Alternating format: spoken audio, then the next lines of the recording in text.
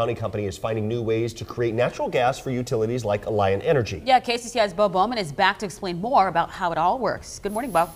It's made using corn stover. It's what's left over after the combine takes the kernels. Their new plant in Nevada just started this process in December. The chopped up corn stalks get baled in the field and then taken to the plant. After the stover gets there, they turn it into biomethane gas, which is very similar to natural gas found in fossil fuels. Verbio says this is a great source of renewable energy. The corn stover is usually left behind to decompose on the ground. It's nutrient rich, but also poses a challenge for farmers when they go to go to plant the following year's crop.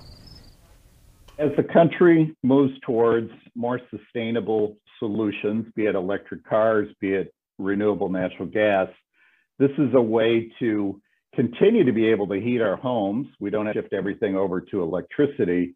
Uh, we can maintain the, the natural gas um, part of our economy. And this is just another source for um, meeting that need.